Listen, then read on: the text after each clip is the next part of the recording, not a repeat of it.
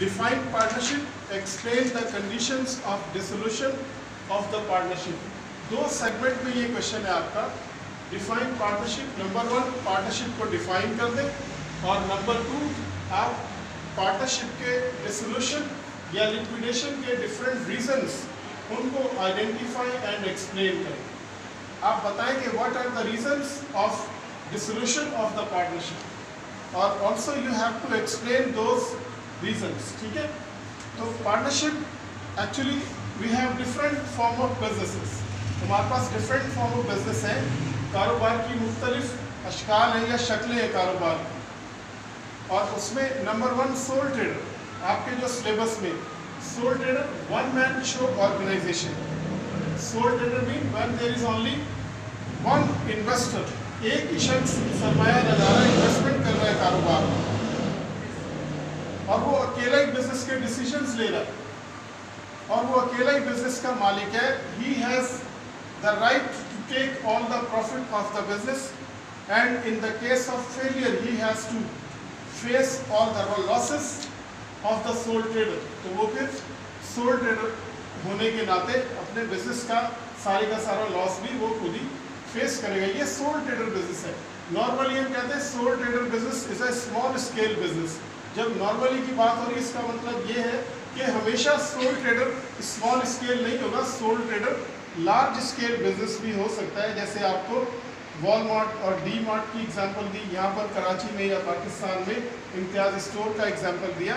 These are good example of large scale sole trade businesses sole traders second form of business हमारे पास आपके syllabus में partnership तो partnership means के when two और more partners pool their resources partnership की definition क्या है कि जब दो या दो से ज़्यादा लोग अपने रिसोर्सेज वसाइल को मिलाते to invest in the business for making profit मुनाफा कमाने के लिए, जब दो या दो से ज़्यादा लोग इन्वेस्टमेंट करेंगे कारोबार में, उसको हम पार्टनरशिप बिज़नेस या पार्टनरशिप फॉर्म बोलते हैं।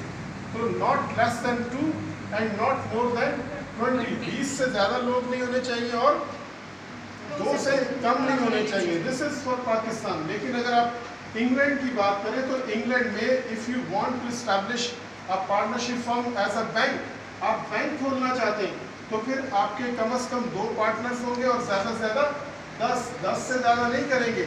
लेकिन in the case of non banking business अगर आप बैंक के अलावा कोई भी बिज़नेस करना चाहते हैं तो कम अज़ कम दो पार्टनर्स होंगे और ज़्यादा से ज़्यादा बीस। अगर बैंक खोलना चाहते हैं कम से कम दो और ज़्यादा से ज़्यादा दस।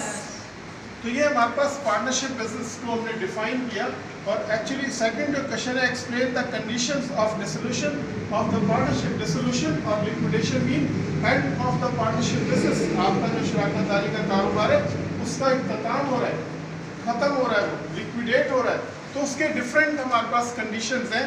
नंबर वन है conflict among the partners actually conflict direct नहीं होता है. पार्टनर्स जब टू और more people working together there may be a difference of opinion उनके ख्याल में डिफरेंस आ सकता है. एक बोलता है कि ऐसे काम कर लो, दूसरा बोलता है ऐसे करो. एक बोलता है फलां कंपनी से या कस्टमर से डील करो, दूसरा बोलता है नहीं करो.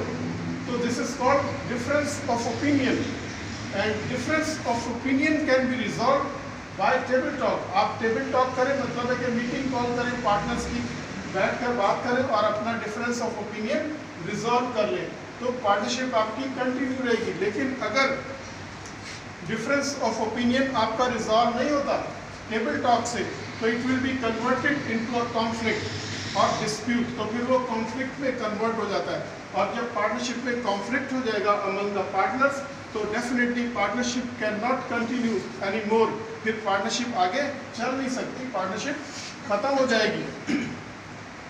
नेक्स्ट हमारे पास है if partner become unsound mind अगर कोई पार्टनर जहनी तोज़ुन खो बैठे अपना अनसाउंड माइंड मीन अपना जहनी तोज़ुन उसने लॉस कर दिया तो आपकी पार्टनरशिप फर्म डिसकंटिन्यू हो जाएगी, आपकी पार्टनरशिप फर्म डिजॉल्व हो जाएगी। या लिक्विडेट हो जाएगी। ये सेकंड कंडीशन थी। थर्ड में अगर आप चले retirement of a partner if any of the partner want to retire from the partnership firm कोई भी पार्टनर रिटायरमेंट चाहता है ही और she want to leave the partnership तो पार्टनरशिप फर्म डिजॉल्व हो जाएगी या लिक्विडेट हो जाएगी। नेक्स्ट हमारे पास एक और कंडीशन है admission of a partner if existing partners want to welcome a new partner to the partnership firm other existing partner एक नए पार्टनर को वेलकम कर रहे अपनी पार्टनरशिप फॉर्म में. This is admission of the partner in the case of admission of partner partnership firm will be will dissolve और liquidate partnership firm खत्म हो जाएगी.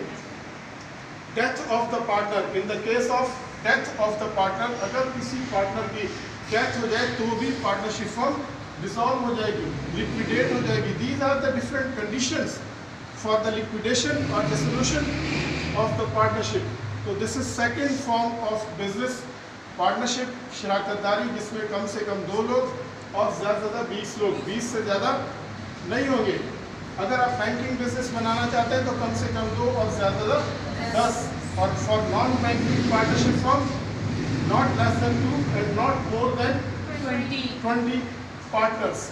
Thank you very much.